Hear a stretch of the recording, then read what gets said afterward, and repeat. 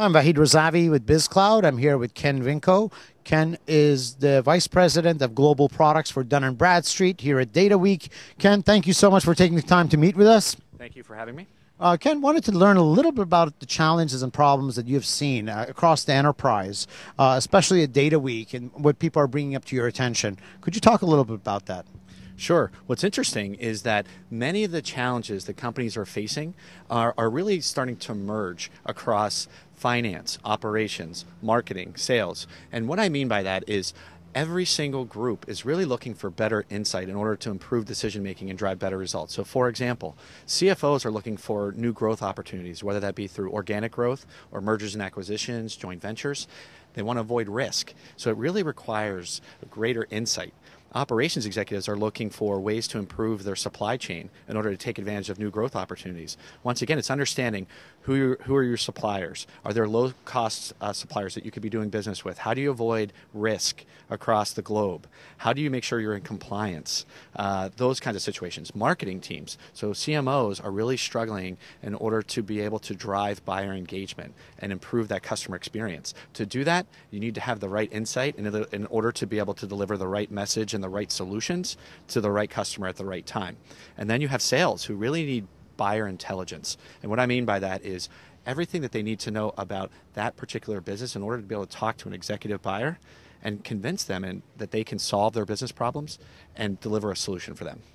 So, do you find a lot of the enterprise companies today are using data and insight from uh, making their strategy and their decisions, or is data a secondary fact and they're still moving forward with their gut feeling and reacting to it? How, what is your perception of the uh, of the enterprise today?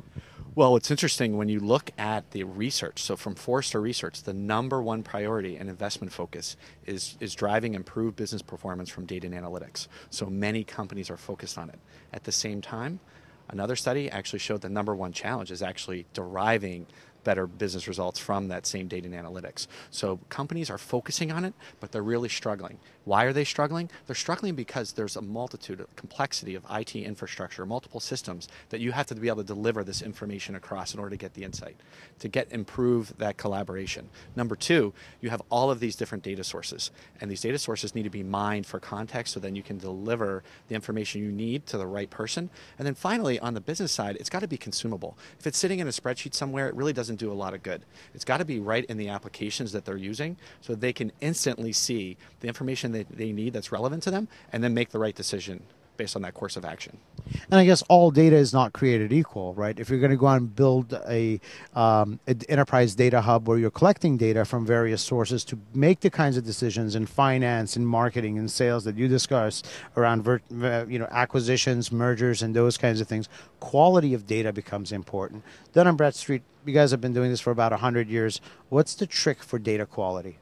Well, number one, it starts with business identity resolution, which means who is that company?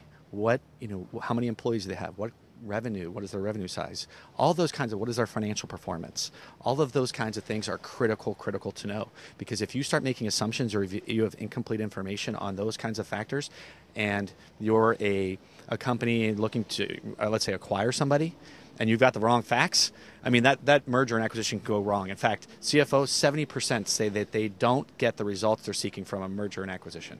So to get the right insight is critical to success because you want to know, okay, how should I evaluate this deal? Or if it's a marketing organization, I need to know I have the right insight in order to be able to effectively target and the number one challenge for marketing organizations today is connecting across all these different systems. And second is incomplete data.